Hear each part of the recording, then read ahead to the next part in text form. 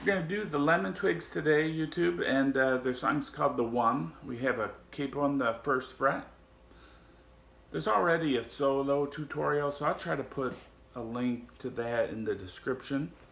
We're going to uh, cover uh, the verse and the chorus. And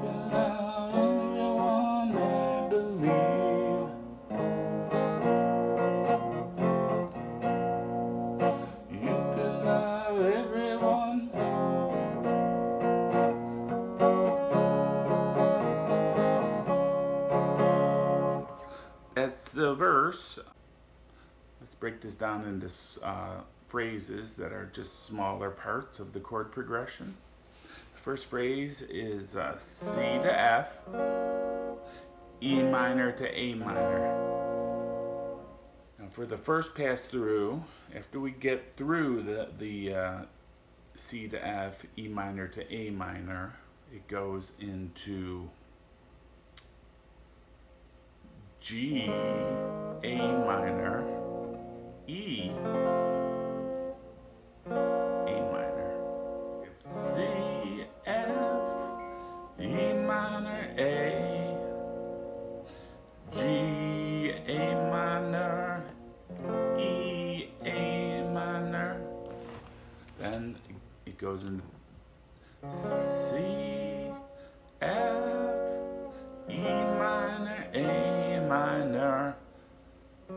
F, C, G, C. So we have like two sections and they're they have the same beginning.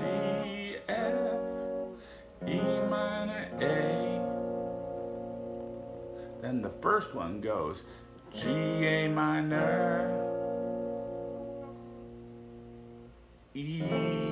A minor. So it's kind of uh, emphasizing the A minor. Then it goes C, F, E minor, A minor, F, C, G, C. So on the second time around, it emphasizes the C chord. That's how to play the verse. All right, let's try the chorus. Uh, here's how I hear it. You move on to another person, la la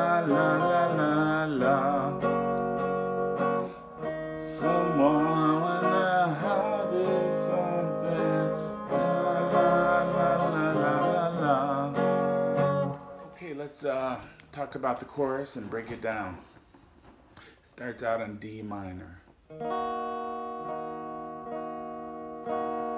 Goes to G. C.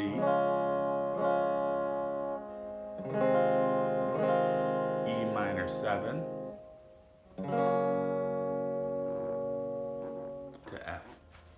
The E minor 7 is just a passing chord. And you play it with only one finger on the fifth string, second fret. It's a jazz chord, you might call it, and uh, comes between the C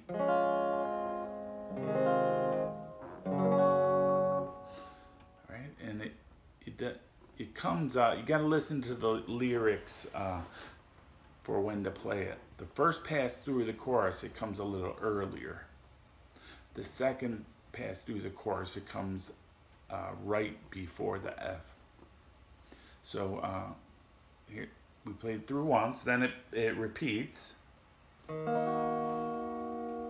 love someone, la la la la.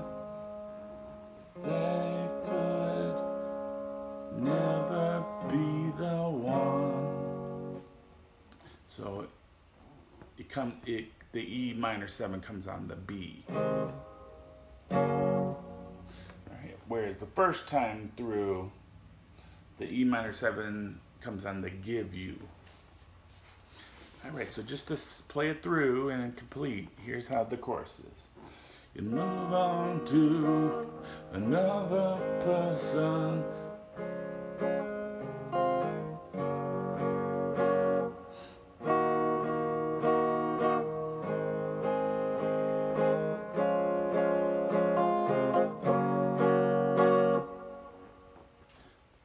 the chorus. All right. Uh, so final thoughts on the one by the group, the Lemon Twigs. Uh, this this is a very chordy song. It's got a lot of quick changes, so it's more of an intermediate song than a beginner song. But if you're a beginner, you know, learning this type of song will uh, help you improve and become uh, more advanced in your playing. Is uh, I think a great song in terms of the melody, the chord progression, the the execution of it. The guitar solo, there's like a maybe like a 45 second guitar solo at the end. That's played over the uh, verse chord progression. Uh, so uh, definitely a cool song and, and one of the best songs I've heard in 2020. So uh, that that is a new you know new music. So um, definitely worthwhile to learn. And I'm to put a link to uh, the gentleman who covers the guitar solo note for note. Um,